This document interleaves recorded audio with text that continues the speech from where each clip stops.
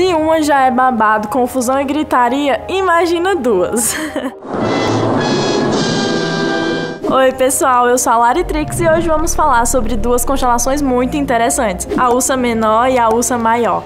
A Ursa Maior é uma constelação que representa a figura de um urso e é uma das mais conhecidas do céu. A Ursa Menor é uma constelação que também representa um urso, mas é menor e menos brilhante que a Ursa Maior. Lógica fácil, né?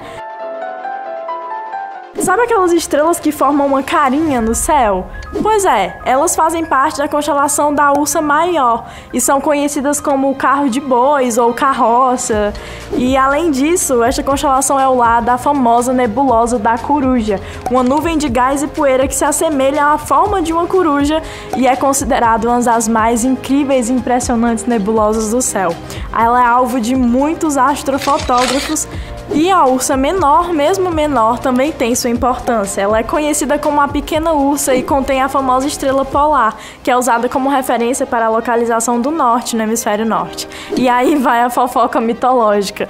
Na mitologia grega, a ursa menor representa Calisto, uma ninfa que foi transformada em urso pela deusa Hera porque elas não se bicavam e entre outros conflitos que elas tinham. Mas e aí, gostaram de saber mais sobre essas lindíssimas constelações? Então não deixem de olhar para o céu para procurar pela ursa menor e a ursa maior. Até o próximo vídeo.